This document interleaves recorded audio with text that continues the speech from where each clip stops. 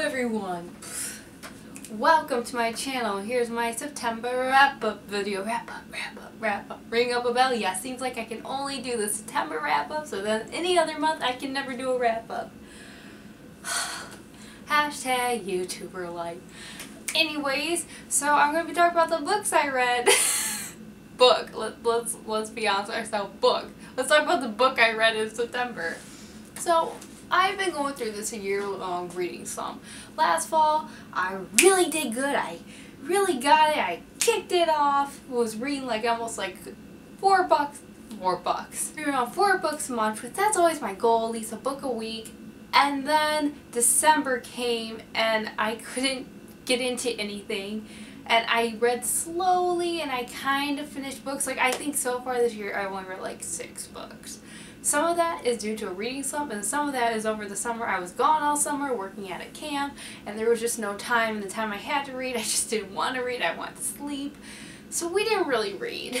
So let's talk about the book in a half. Let's I'll make it half because I've not the book I'm reading right now because I'm pretty far in it to I feel I can count it for a September read. Also, if you're not yet subscribed to click that subscribe button. I do bookish discussions here like I'm doing right now. I'd love for you to join part of the family. Anyway, let's get started. Okay, so I actually don't have this book with me. I took it home. Book I read in September was A Court of Mist and Fury. I love this book. I gave it 5 out of 5 stars. I couldn't put it down. Like I said, I picked up A Court of Thorns and Roses. It was good. I won't say it was my favorite. And then I just never got to Court of Mist and Fury. I kind of picked it up and I put it down. And then I want to read it. I want to read it. I want to read it. But the length was very intimidating because when it comes to really big books, I need to have just time to sit there and read it.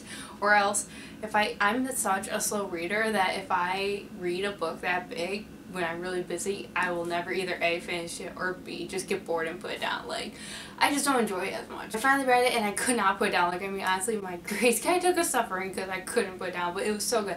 And then, the second book, which I'm counting is in it, you probably guess what it is. Of Wings and Ruins, the cover. Where is the cover? Oh, I put it here to make it look like a book. A of Wings and Ruins. I love this book so far. I am literally, how far am I?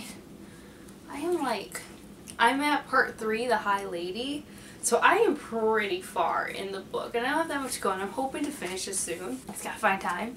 And I'm really loving it. I don't like it as much as the second book, but I'm loving it and so far I'm giving it a 4 out of 5 stars, but probably once the ending hits. Okay, now let's get to the books I want to read in October. First book I want to read is The Great Gatsby by F. Scott Fitzgerald. So, you're probably thinking, Didn't you read this in high school? No, I didn't. And I tried reading it on my own in high school, but I didn't get it. And I mean, I started reading it, and then I kind of just lost interest. See, I, I read it almost halfway through it. and so this is the time where we, I don't know, this just feels like a very fall read. I don't know if it's just the colors on book. I know what happens in it, but I still want to read it because I love the concept of it, and I want to finally try to read some more classics. That's my goal is to try to read more classics. Let's see if it actually works. So the Great Gatsby is one of them. Next we have, you are probably going to smash your head against the keyboard when you realize I haven't read this book yet, and it is Harry Potter and the Order of the Phoenix. You're probably thinking, Doesn't every 12 year old read that? yes. Once again, I was late on the bandwagon, okay? So I can't wait to read this. This is the fifth, fifth book in the Harry Potter series.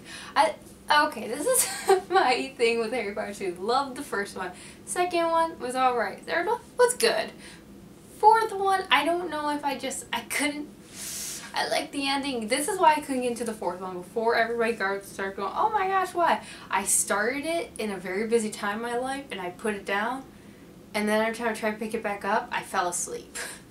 so we, I literally just finished it maybe a few weeks ago, but I didn't count it for September because I really read it like way back of the beginning of last year. So I want to read this book. It's the fifth continuation of Harry Potter series. I'm pretty excited. And then this one. This one I'm actually very ashamed I haven't read yet. I mean some of it because it came out at the end of May like I said I was working at camp so there was really no way for me to get to a bookstore so I guess it's logical. But normally this author, the minute her books come out I buy it and I read it.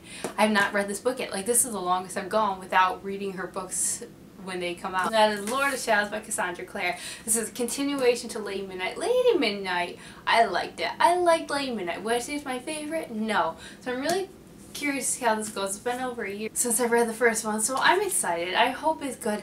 Does anybody know when Dark Artifices is supposed to come out? Like, at first it was supposed to be like 2000 and like 16 or something, and then they got moved to 17, and then it's 18. I hear now it's 19 or something. I don't know. I keep hearing it's changing, and I want to come out because I want to know about Will and Tessa's children. Anyways, Lord of Shadows, and I can't wait to read it. Okay, so this next one, I need your guys' help because I'm kind of tied between which books I want. Maybe I'll get to both of them this month. I'm hoping to. What book do you suggest I read? And that is And I Darken by Kiersten White and Crooked Kingdoms by Leigh Bardugo. Which one should I read? I kind of want to read this one because it kind of gives me a dark vibe and stuff. But I also want to read this one because one, I love Six of Crows and two, this also gives me a dark vibe.